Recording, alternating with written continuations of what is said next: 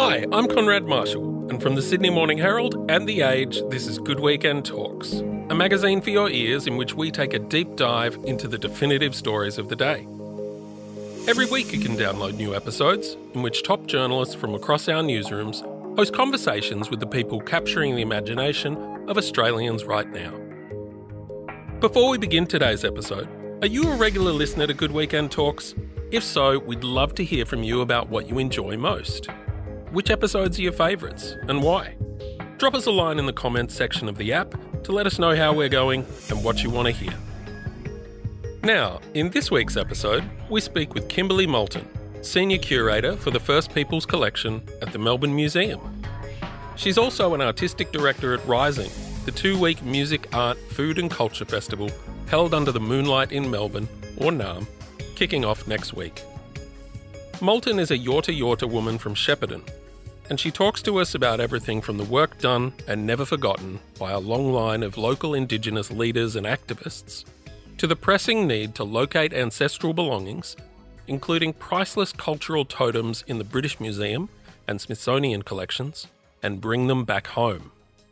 And hosting this conversation about country, ancient systems of knowledge, and exploring Indigenous stories through contemporary art is senior culture writer for The Age and the Sydney Morning Herald, Kerrie O'Brien. Thank you, Konrad, and welcome, Kimberley. It's wonderful to have you here on Good Weekend Talks. Thanks for having me on the show. So, I wanted to start by asking you about, I guess, how important it is to have a First Nations voice, uh, not just in an institution like Melbourne Museum, but across arts institutions, museums, galleries, and also in festivals. Mm. Can you tell us about your focus and, and your practice professionally? And, and I know that straddles a personal sort of curatorial practice as well. Yeah, I I, I work across museums, art galleries, festivals, and it's my curatorial and writing practice really um, is about culture and community. So I I move across these spaces, and I do. You know, I come from a, a strong family. We have many playwrights and academics and teachers and song men and women and people, and um, I'm really proud. You know that that we are all very creative and and I think at at its core, it's about education and it's about furthering you know, and amplifying our people's voices and our histories. Mm. And I think for many years, for many decades, the narrative um, of Aboriginal and Torres Strait Islander art, culture, research around cultural belongings and museology has been led by non Indigenous anthropologists. Mm. Um, there's been huge waves of change, of course. Mm. And there have been some incredible Indigenous people like leading that um, that have come before me. But it's so important that we drive this this space because our culture has been represented incorrectly. You know, we're still historicized, I think, in, in art museums across the world as a culture of the past. Mm. Or our our art needs to sit within some kind of space of authenticity or um, you know, Western canon of of what what is contemporary, what is primitive, what is real, what is not, you know, all of these mm. things. And I'm interested in breaking all of that down. There are a couple of examples, one of which I was really struck by you coming across in the British Museum. I think the shield that Captain Cook mm. took uh, during his first encounter, or one of his first encounters with Indigenous people. Can you tell us about that? Yeah. Um, I've been really fortunate over the last sort of 15 years or so to be able to, to do a lot of research internationally. You know, when I went to the British Museum the first time, which was I think around 2013 maybe, and I was there um, as part of this leadership program with the British Council called Accelerate. And my research focus for the month was to look at collections, southeastern collections in museums, um, but also the way in which uh, museums and art galleries work with contemporary artists to renew story and to recontextualize, you know, colonial space. So I went to the British Museum. I was I went to the Tate in Liverpool. They were doing really interesting things with youth, and I went to the Museum of Transatlantic Slavery in mm. Liverpool because I was interested in the way that they could communicate traumatic histories to to younger generations. Mm. So doing all this thinking and going into the British Museum at that time, the only thing that was on offer in terms of uh, Aboriginal Australia or southeastern Aboriginal Australia was within this space called the Room of Enlightenment. And this is after the Enlightenment period of, you know, the colony and discovery and mm. all of that, uh, you know, grandiose imperial. Um, I won't swear, but uh, you know, time time in history, mm. and this room, it's quite remarkable. Like, there's this whole case, and I was only back there last year doing more research, and it, every time I go, it kind of blows my mind. But this whole case on a man called Sloane, who was one of the, I think, founders of the British Museum, but collected, a, you know, a huge amount of uh, collections for the institution who was a slave owner. And there's this this case that doesn't really critically look at that. It just kind of it almost positions him as this you know great man. Mm. in fact i heard a tour guide say he was a great man. Gosh. But in the same room as yeah this case which has the um, the loot of the the frontier and the shield and the boomerangs that were collected by captain cook and joseph banks. And this Gweagal Shield, there's been a huge movement by, you know, the Gweagal community um, and the First Peoples that owned that in to repatriate that. But it was very visceral to kind of walk in and to see that the only representation of our people was this point of contact and this shield with a bullet hole in it. It's documented that Cook shot at the people on, you know, that that kind of beach. So that says a lot. And you know, since then, I've been back to the British Museum several times and I've been able to have access to the Victorian collections there, the Southeastern collections, that there are thousands of objects that are in, you know, warehouses off site and, mm. and not mm. on display. And things are changing there, I think. But I think, yeah, that that's the pinnacle of, of the imperial empire, right? The British Museum mm. and that kind of the taking of things that's not theirs there's so much we could talk about there, but I mm. guess to focus on your experience with some of these items, you've been the first Aboriginal person to to see them in hundreds of years. Mm. I think at the Smithsonian there was a possum skin cloak. I wonder if you can talk us through your experience with that. Yeah, um, yeah, I've had moments where I've realised uh, no one's seen this since it's been collected. um, and actually, one of those moments was in the Kelvingrove Museum in Scotland. And there were stone tools collected from Shepparton from the early 20th century. And no one had seen them since, you know, they were taken. And it was, you know, these were, these were from my country. And uh, like so many emotions that, that come through. There's an overwhelming sadness there's a, this this excitement as well when you're in these spaces seeing these things frustration anger but also a sense of like at least i can connect to them and say hello and mm. care for them in a cultural way uh, and the the hard kind of part of it is putting them back in the box and covering them with the plastic and putting them back in these locked cases and potentially never seeing them again and maybe i'm you know going to be the only person that sees them for the next 50 years mm. And when I was at the Smithsonian, so I was doing a residency at Kluge-Ruhe Aboriginal Art Museum, which is in Virginia, Charlottesville. And it's the only Australian Aboriginal art museum in the States. Mm. Uh, and they do really great work. It's contemporary space. So I was having a residency there and I was going up to Washington to do research at the Natural History Museum, which is a part of the Smithsonian. And they have cultural material from the Southeast and they have a possum skin cloak. And now I wasn't the first person to see that, but there hadn't been many people, and certainly not many um, Aboriginal people, kind of engaging with it. Now they know what they have as well. And this is the common case in a lot of these big collections where there is a keeper or a curator of one collection. And in this case, the, the curator, she had been there for 47 years in that role, and she's the keeper of the Oceanic collection, which right. is, you know, the entire Pacific, mm. and her area was PNG. So that's okay. what she'd focused on that whole time. So therefore, a lot of these other collections get a little bit kind of left out and forgotten about. Anyway, so I saw this this beautiful possum skin cloak, which they they think is from around the Hunter Valley region of New South Wales. But it's the earliest cloak that we know of outside of Australia. So it was collected in 1840. Wow. This expedition, the Americas expedition in 1840, actually collected the foundation of the Smithsonian as we know it. So the the thou- couple of thousand objects that they collected from this expedition started the Smithsonian collections. Wow, right. And this cloak is part of that.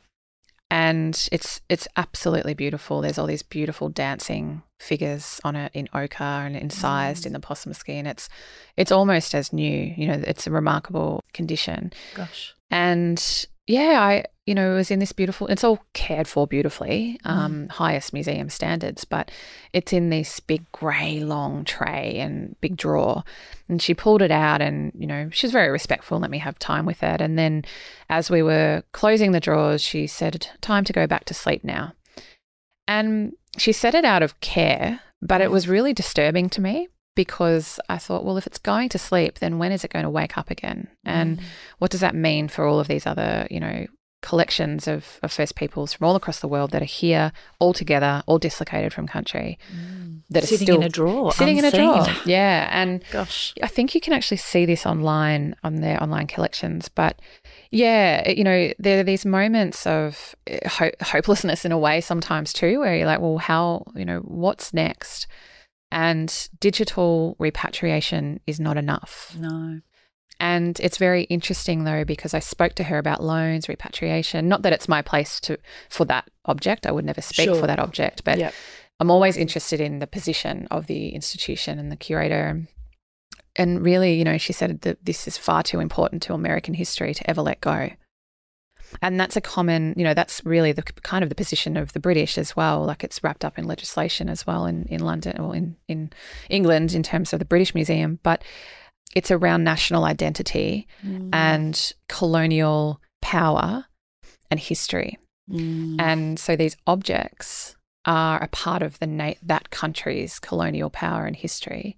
And that was very interesting to hear. I was in Switzerland um, last year doing research in Geneva and Basel, and they have a very different take because oh, they sort of see themselves as neutral. Um, right. Yeah. but uh, you know we know it's more complex than that but i found that they had less of a national identity wrapped up in these objects and they were far more open to repatriation and loan and working with communities and building Mm. relationships and it was less about holding these as you know possessions that must you know keep keep safe for the country's kind of history and, and more about well what's next what's the next step Mm. I wanted to ask you about your great uncle, William Cooper, who is a fascinating individual. Uh, in the 1930s, he lobbied for Aboriginal representation in federal parliament. And remarkably, he was one of the first people to protest the persecution of the Jews by the Nazis in Germany in the 1930s. Can you tell us a bit more about him? Sure. So Uncle William is my great uncle, great great uncle. And our family were on Cummeragunja Mission uh, up on the border of New South Wales and Victoria on the on the Murray River, Dungala River. And Uncle William, uh, he he left that mission uh, in around 1930s, early 1930s, because he couldn't get an old age pension being on the mission a lot of Aboriginal people from the mission um, family and and other people that were up that way did the same thing to to receive pension to to get off the the regime that was the mission at that time. And a lot of people moved into Footscray, into Melbourne. And that's where there was a real kind of movement of political activism with Aboriginal people here. And he uh, was secretary and established the Australian Aborigines League, which was one of the first Australian uh, Aboriginal political parties. And so he, yeah, was really fighting for our people to have a voice for equality. Uh, he was peti- petitioning the government to have a representation of Aboriginal people in Parliament. And this was around equality. And so, you know, part of his legacy is also this incredible um, protest that he led after the night of Kristallnacht in 1938, which was, you know, this sort of persecution of the Jewish people and it became very public across the world. And he saw that and he saw it as a human rights issue. He felt for, for the Jewish people because he could see, you know, that the same thing happened to our, our own people. And um, he led a deputation um, into the city from Footscray to the German consulate, demanding that they stop the cruel persecution of the Jewish people. And this was the only recorded uh, protest about that at the time. So yeah, it's there's a big legacy, and Uncle William, you know, he is definitely a hero of mine, and and I think many Aboriginal people and non-Aboriginal people even across the country. And when I talk about Uncle William or Grandpa James and Cummeragunja and the many leaders that have come off, you know, that that country, uh, it's to recognise their enormous work in contributing to the political landscape, to where we are now, to the nation. And for people, you know, for the rest of Australia to really understand who our leaders are here. We know about Nelson Mandela, we know about, you know, um, Martin Luther King and all of these amazing civil rights leaders, but we have them in our own country as well. We'll be back in a moment. But in the meantime, reviews help people find us. So if you like what we're doing, it'd be great if you could help us out. Just jump on your podcast app and give us a rating to spread the word and let us know what you love.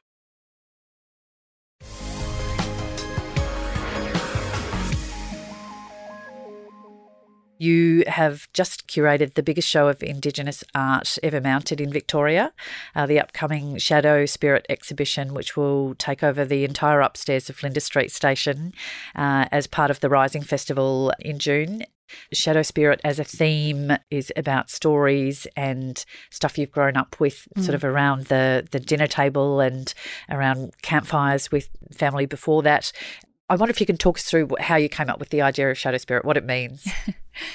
it's been, yeah, a few years brewing in my mind, but informed by, I think, you know, my whole life and also that of many Aboriginal people, you know, uh, and Torres Strait Islander people. We have these stories in our communities that we've grown up with, and they speak to the spirit world or to metaphysics, to, to time and memory and the slipstream of time, you know, that we don't necessarily consider ourselves within a linear time frame in an Indigenous worldview. Uh, and these stories, whether it might be the story of the bunyip or up back home, we have a story of the hairy Becca, which is this hairy, foul smelling, creaky bone creature that will take children if they, you know, stray too far from camp. Right. There's celestial stories. There's we have something also called the Min Min lights, which is a thing across Australia actually, and of these lights that may appear that may kind of take you in the wrong direction or distract you from what you're doing. And then we have also obviously these stories of history that are buried, that are in the shadows. And all of these things are systems of knowledge. They're networks to communicate country, respect of country, discipline, to protect family and children. So I'm I've always been really interested in these and they always come up with community, start talking, especially if it's late at night or if we're, you know, yes, around a fire or the kitchen table. And they're not they're not myths, they're not story tales or folklore or, you know, ghost stories. They're actually systems of knowledge. And that's, I guess, what I wanted to talk about. That's what I wanted to communicate. But they're also, there's humor in them, there's lightness and darkness. Uh, but it, there's also some just really interesting creative storytelling. Mm-hmm. And our people are that. I love I love my people and their humor, you know? Yeah. um, and our ability to spin a good yarn. Anyway, so so kind of thinking all about all of that and this idea for shadow spirit came out of that, I suppose. And of course, I'm informed by the cultural material that I work with, that I connect to and research, by the community that I'm part of and constantly working with, um, my own family stories, and combining all of that and thinking about, okay, well, what does an exhibition look like with something like that? And, you know, working with Rising outside of an institution for a contemporary arts festival has been just so amazing. You know, they're, they're such a fabulous festival and we've come through the hard yards the last few years with yes. COVID and everything. But talking with Han and Gid, um, the the co-artistic directors and so CEOs. Hannah Fox and Gideon Obarzanek. Yes. Yep.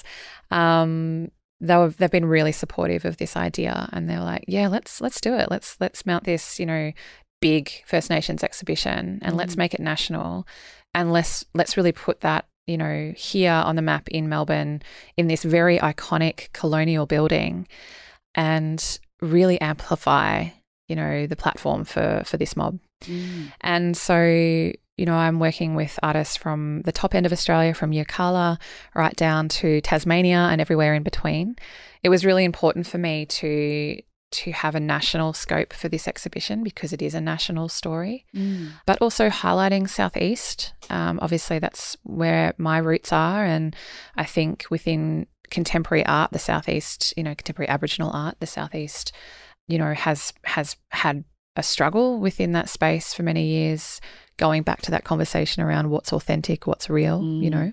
It was an incredibly ambitious hit list that you had, but you managed to get, I think, every single person you wanted, which is wild, from emerging artists through to well known established names. How does it feel looking at it coming together now uh, in the space? I think the install is this week. Yeah, we started Monday. Right. It's an honour to work with all of them. And yeah, I, I had a wish list of artists. I have many wish lists of artists, continually writing them. Um, but I felt I wanted to include established artists and you know people that have been making art and being a part of our community for a very long time in that way. And I wanted to also pair pair them, or not pair them, but like have included in um, the exhibition more emerging early career artists. Look, it, it feels so exciting. There's been other exhibitions looking at Aboriginal spirituality and stories, of course. This isn't the first one to sure. do that, but on this scale, on this national scale, I think also a big part of this has been about supporting the artists to extend their practice. Right. So we've actually worked, I think it's up to about 80 other artists, fabricators, um, projection animators, um, fabricators of you know sculptural works um, with the artist. So each artist has a, a, large commission, and within that, you know, there's there's several artists that they're working with within the Australian arts sector mm. to help them realize their work. So they they're gaining new skills, they're extending their practice, um, they're moving into other areas, sound and um, film, mm. uh, sculptural work in some cases, and there's a beautiful ripple effect into the industry it couldn't be more timely, it strikes me, um, with the uh, voice referendum coming up. Mm. I wonder on the show, though, how significant is staging it in Flinders Street Station and not a, a gallery per se, but that very particular space in Melbourne and, and what it represents, I guess? I think for me, you know, Ab- Aboriginal art can be anywhere and it, it should be anywhere. And, and I think we we lack uh, a presence of public art in this city, you know, in all all cities really. And it, although this is only, you know, for a few months within Flinders Street Station, it's just expanding, you know, on on that presence within, you know, the city and outside of the White Cube. Mm. It's been a real challenge, like an exciting challenge for me to curate in a non-gallery space it comes with its freedoms, but also with its um, restrictions. Yes. you know, Flinders Street is a heritage listed building, mm. so we mm. cannot hang on the walls. We have to bring everything in. But it's quite an iconic building and it's been used as this civic space, you know, for the last 113 years. It's mm. 159 years or 69, 169 years a station, 113 years a building. And obviously, we've got over 2,000 generations of Kulin people, you know, Wurundjeri people, Bunwurrung people, like coming into this place and, and also living and being a part of this this country. It's their country. Mm. It was a gathering space, I believe, around it? this area. Yeah. yeah, and I mean, the CBD. There's no there's no coincidence that we have, you know, the stadium where it is and we have Federation Square where it is. Mm. These were prime pieces of land and mm. the Kulin people, you know, also used it in that way and respected it and, you know, I guess had families for thousands of generations on this country. Mm. So when thinking about Flinders Street Station, I always think about those people first and you know, it's still there. The country is still underneath these foundations. Like we obviously have Birrarung Marr, the river, right outside our window. There's still a waterway that runs under Elizabeth Street that continues to flow into that, you know, mm. river. the the land is still there, the people are still there, Mm. and there's still a deep connection to to place and site. And then when we think about the building itself, you know, it is this very iconic building of Melbourne. It's it's one of the biggest, you know, colonial kind of buildings that I think reference that time. The Royal Exhibition Building has a similar feel, but Mm. it's been used as a civic space. There was a gym, there were, you know, running tracks on the roof. There's Yeah. been lots of different like teaching of English and lectures, you know, Mm. there a the ballroom, where people used to go and Yeah. dance. Uh, yeah. Yes. I feel like working in that building, it gives me a similar sense sometimes to working with cultural material where materiality, space, place, and material things have memory. Mm. And you you feel it in a different way, of course, but you feel it in that building. And so we're bringing these stories of, you know, First Peoples memory and time and spirit into a space that has a lot of that as well. Mm. I did want to ask you one thing I have heard again and again when I've interviewed Indigenous people across mainly the arts and culture space, but um, some other areas as well, is recognition that I stand on the shoulders of great people who've come before me. And it moves me every single time. And it is not something I've heard commonly from other um, you know, other people's. And I just wanted to ask you about that. I feel like it must be something you're taught, you know. I don't know. I'm just interested to know a bit about that idea. It really does move me. Yeah. Yeah, I think in our culture, we're taught to respect our elders and acknowledge where we come from. And it is a privilege having the history and having the connection, you know, to to my old people. And this respect is what we carry into all aspects of our lives. I didn't get here because of myself. I got here because of the people that came before me. That's my mentors that have been in the museum and museum like art gallery space, my elders, my ancestors that fought for our rights. That's the reason I'm here and that's important to remember. And I think there's a humility that comes with our people as well around, you know, knowing where we come from and who we come from and always acknowledging that because it's never, you know, com- we're part of a community. It's not an individualistic kind of approach to life. It's actually Mm. a community approach to life. So I think that's where it comes from. And yes, you know, it, it is you are taught that this is who this is who you come from and this is who you should acknowledge. And it's about feeling great pride in that and great love for that. Mm. Yeah, we do stand in, you know, on the shoulders of giants, if that is that how it says? Yeah. Yeah. Um, and in the footsteps of of giants. Well, look, it's been an absolute pleasure having you here and hearing your story. And can't wait to see the stories of the artists you've brought together in this incredible show, Shadow Spirits. The dates, uh, June Yeah. 7, it kicks Yeah. June Yep. 7, um, the festival opens. So it's part of Rising.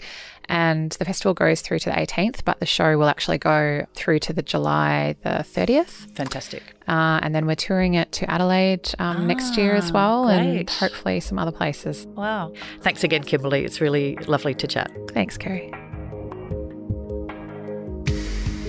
Good Weekend Talks is brought to you by the Sydney Morning Herald and The Age.